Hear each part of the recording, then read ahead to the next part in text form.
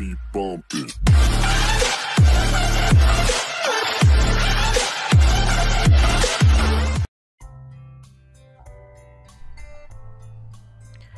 Google Analytics is a great way to track how many visits your site has, where your traffic comes from, and how long visitors spent on your site. To set up Google Analytics, sign up or log in to Google Analytics with your Google password. Then create a Google Analytics account. Fill in the information about your website and then scroll down and click Get Tracking ID.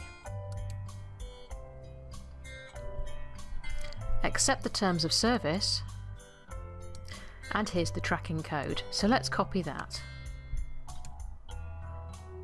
We need to install this on our WordPress website. Some themes will give you a field to enter tracking codes, but if not, you can install a plugin called Headers and Footers. Let's do that now. So I'm going to add a new plugin.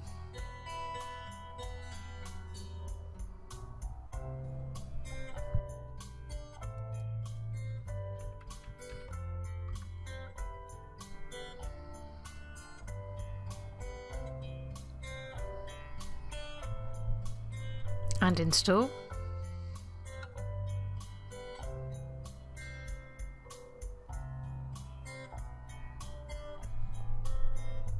And activate. And then if we go to settings, there's our header and footer plugin.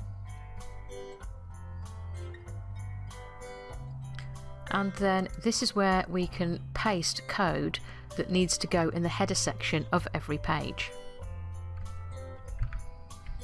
So I've just pasted our Google Analytics code in there and save.